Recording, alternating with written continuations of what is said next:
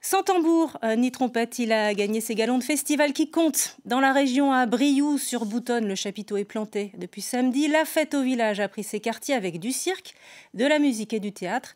Et tout le village met la main à la pâte. Alain Darrigrand et Bruno Pilet sont sur place.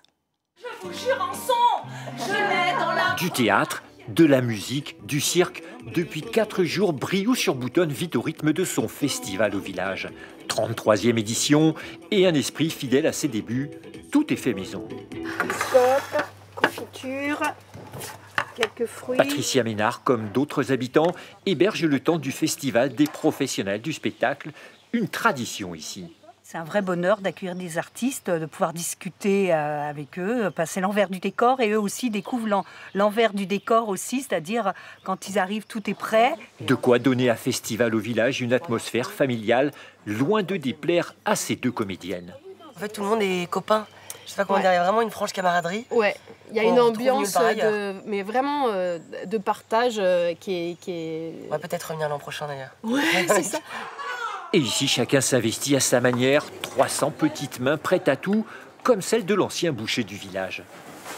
Quand je suis arrivé à la retraite, c'était le premier plaisir de me faire euh, le festival avec les copains.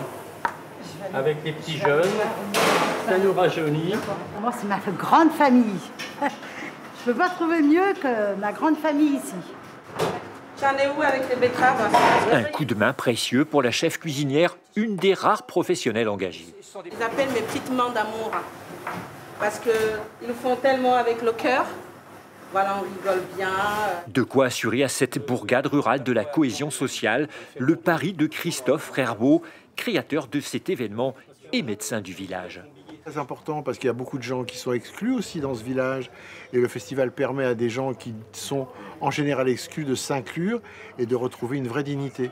Un esprit et une énergie ressentis par les artistes transmis dans les spectacles qui donnent au festival au village une marque de fabrique unique.